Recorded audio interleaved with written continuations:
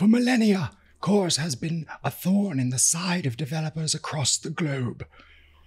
For something lauded as straightforward and simple, it trips up the very best of us to this day. Excuse me.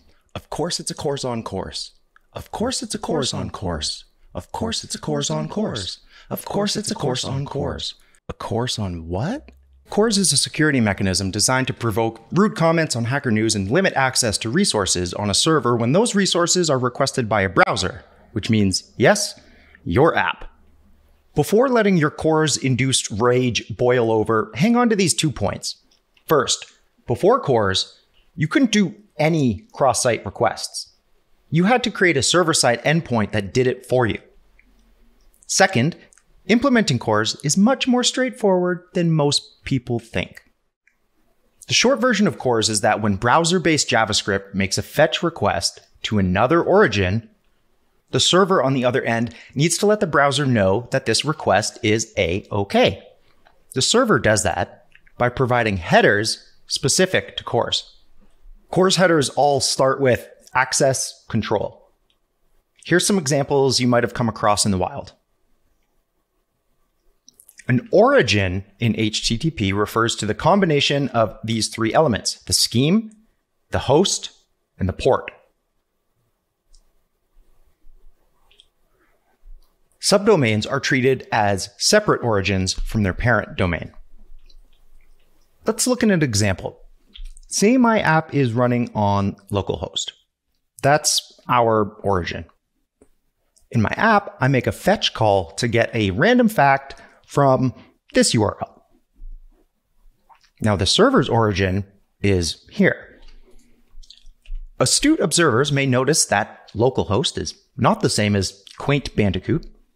Indeed, we are attempting to fetch a resource across origins, or cross origin for short. One might even say we're hoping to share resources across origins, or cross origin resource sharing. For this to work, the server must explicitly allow this to happen. It must opt in. It does so by returning a set of magical headers that tell the browser whether or not this request should be allowed to continue. Okay, the, the headers are not magical, but they are headers. Let's continue the example. Our server is not currently set up to support CORS, and thus the request is rejected harder than me at prom. By modifying the server's response like so, we can allow this request to complete. At this point, it's worth noting that CORS is entirely enforced by the browser. Using curl or even a server side request has no bearing on CORS. There is a common misconception that this makes CORS moot as it can simply be circumvented by ignoring the CORS specific headers returned by a server. But there is more than meets the eye.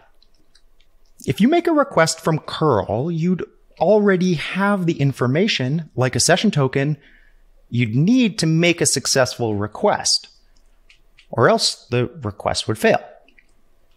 Leveraging the browser to make that request introduces access to information, like cookies, you might not already have.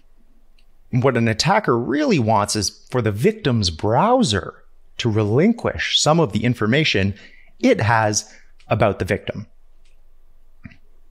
I know what you're thinking. Secure cookies, HTTP only cookies. They can't be read by any old JavaScript. So what's the issue? The browser should just make the CORS request and not send any of the cookies. Smart cookie.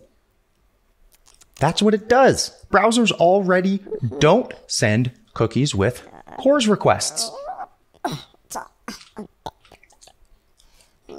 Access control allow origin star allows any website to load your resources, but prevents cookies from being sent. As a broad rule, this header alone eliminates the entire category of CSRF vulnerabilities nearly entirely. It still has to be opted into, however, and here's why. There are still millions of systems that use something other than cookies for authentication. Oh yeah, makes sense. Many printers and home routers do not bother with cookie based sessions because it is assumed that if you can make a connection to the service, you are already in the network. Yeah, fair enough. Thus, a malicious website might make a fetch request to 192.168.0.24. That happens to be your printer.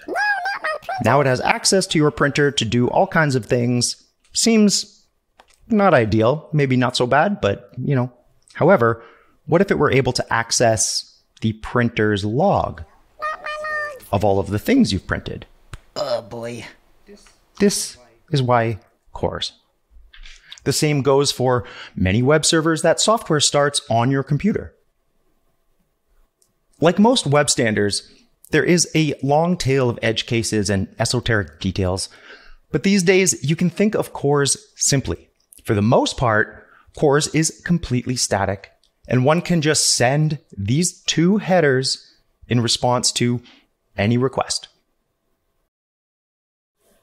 Using Convex, we can create an API with HTTP routes like this. At this point, you might recognize that we'll run into an issue here if we attempt to hit this API from an arbitrary client. So let's just add some headers to make it work. Ta-da! But I have a little gift for you. To make this easier for you and so that you never have to think about CORS again, I've written a wrapper to automatically support CORS for any of your convex routes. Here it is in action. And just like that, you can write a robust, scalable API with full CORS support in a matter of minutes. Happy coding! Of course, it's a course on course. Of course, it's a course on course. Of course, it's a course on course. Of course, it's a course on course. A course on what?